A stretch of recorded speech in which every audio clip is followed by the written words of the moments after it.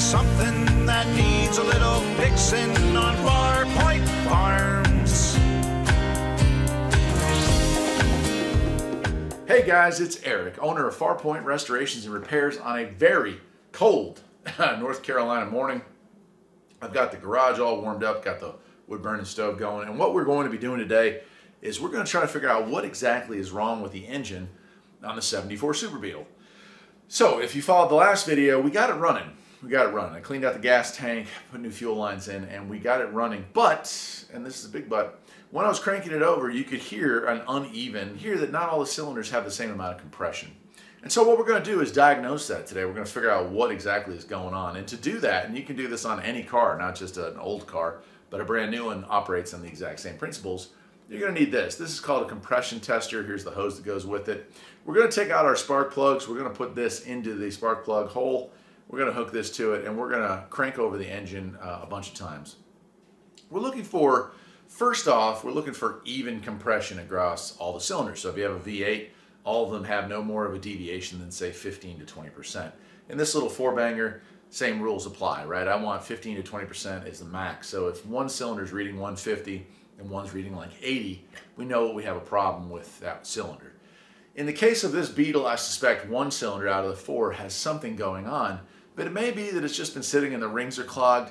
This is a way to find out. And as I'm taking the spark plugs out of the Beetle and going through and doing the compression test, I will give you some guides, some tips and tricks on how to determine if we have a mechanical problem, what that problem is, because we can do something like add oil to a cylinder, and if the compression ratio suddenly jumps up, well then we know we have a problem with a piston ring instead of a valve. But let's go ahead, we're gonna pull the plugs out of this thing and we will see what's going on. All right, the first step when we're gonna do a compression test is to remove all the spark plugs in the engine. The reason you can't just go to the suspect cylinder and crank it over is you're gonna get a weird imbalance here if I leave all the other plugs in. So it really makes for a more accurate reading if I can create equal compression, that is no compression, along all four cylinders and only pressurize the cylinder that I'm trying to test.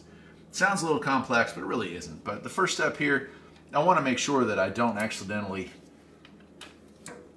I want to make sure that I don't accidentally start the car, so I'm going to go ahead and undo the coil wire here, and we are going to uh, we're going to go ahead and pull out the plug wires.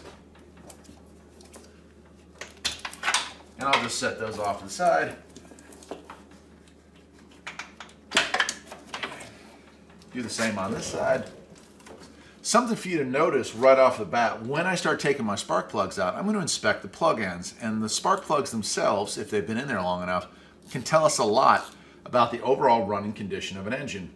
If they all look the same and they all look like a lightish brown, then we're in good shape. That means that the engine is combusting properly. We have a good air-fuel mixture and everything is operating as it should. If they're all really black and sooty or oily, well that means that the car is either running rich or we have oil getting into the system. If they are a whitish color, that means the engine is running hot, probably running lean. In a case like this where we're looking for a specific problem with one cylinder, taking out all four spark plugs and checking them as we go, we might notice that one plug is totally different than the rest. And that is the first sign that we have a problem with that cylinder. Let's take a look. All right, it might be hard for you to see. I don't know if I can put that up close there and maybe it'll focus. Maybe, maybe not. It's kind of tough there. But what we have here, that one's that one's a little sooty. That would indicate that this uh, cylinder here is running a little rich. Let's take a look and see if the rest kind of line up with that. That one's about the same. It's um, running a little rich, not terrible. We're at a higher elevation, and this hasn't been tuned for this elevation, so what we might be seeing there is just um, just just the air fuel mixer being a little leaner up here in the sky the back ones out now. So we've got all of the spark plugs out and nothing really to report. There's one that's slightly dirtier than the rest. That was that one right there. That was actually that cylinder right there. So I think that's one, one, three, four, two. I think is how this goes on these engines. It's been a while since I actually paid attention, but there you go. So Nothing definitive. The plugs are worn, not worn out, dirty. Look at that. electrodes. When I first pulled it out, I thought, oh boy, these have been in here forever. Yeah, no, they haven't. It's just the engine is leaky on this, so they've just kind of collected some soot. All right, so now that that's out of the way, we're going to go ahead and hook up this hose right here. And we're going to start with cylinder number one. Let's see if I can get this in here. Okay, once it's tight, hook up our compression gauge, which is that part right there. See, it's got a little valve right here. That's to let the air off when you take this thing apart. Now this gauge is worn. 120 is the new 150 because on this thing right here, it just doesn't go up to what it actually is. But I compared it with a friends when it first started acting up to see if it was going to read the right, and uh, and and we figured out that it was just about 30 pounds low. So let's get this closer in. Yeah. All right. So what I'm going to do, you can see it's on zero. I'm going to go ahead and crank over the engine, and we'll check to see what it is. The engine should spin over very freely.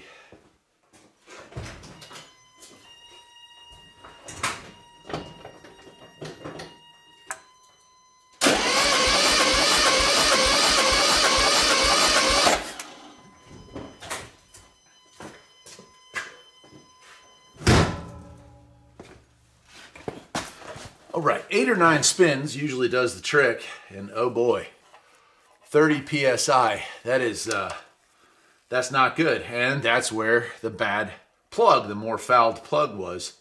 So that is really not good.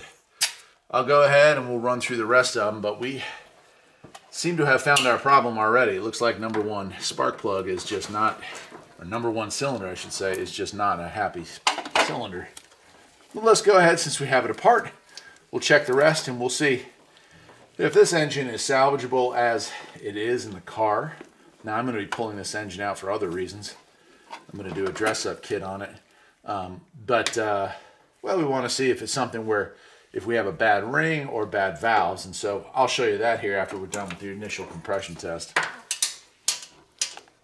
All right, here's number two.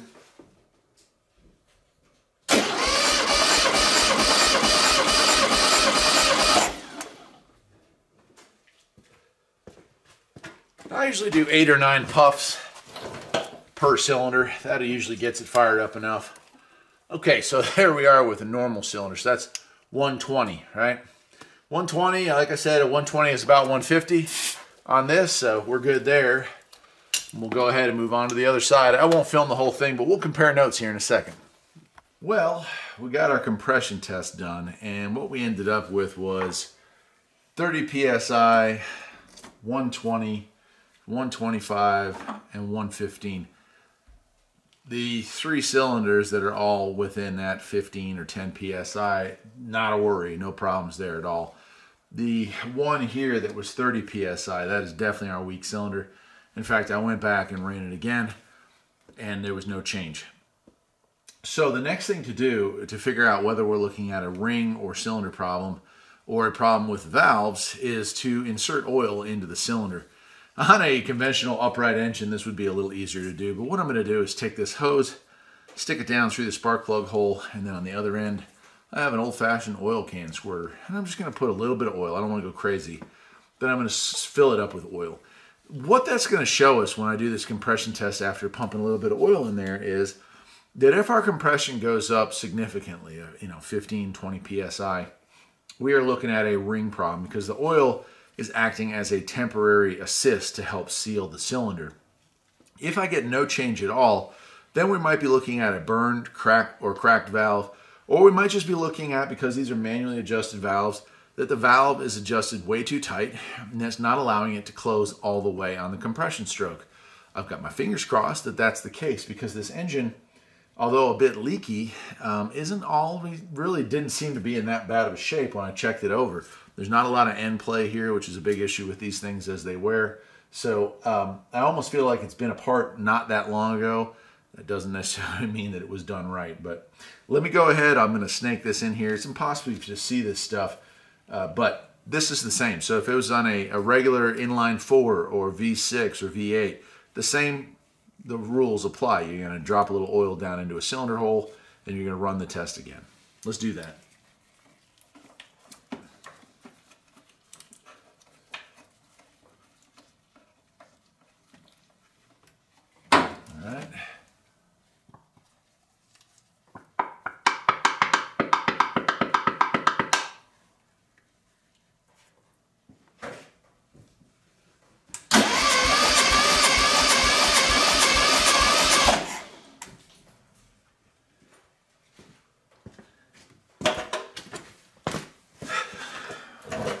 We got some good news. There was no change in the compression for number one, which means that our problem is in the valves and not in the cylinders. That is good news. That is good news. So next step will be to raise the car up and adjust the valves on this side. Not something I'm going to do here on video for y'all, but that's it. That is how you determine mechanical issues inside of an engine without tearing it down. You go in there, you do your compression test, you take your readings, you look for a weak cylinder, and you go from there. That'll do it for today, my friends. I'm Eric, the owner of Farpoint Restorations. Hope you enjoyed the video. I hope you found it a little educational. and if you did, perhaps you'll think about liking and subscribing. And I'll see you next time. Take care.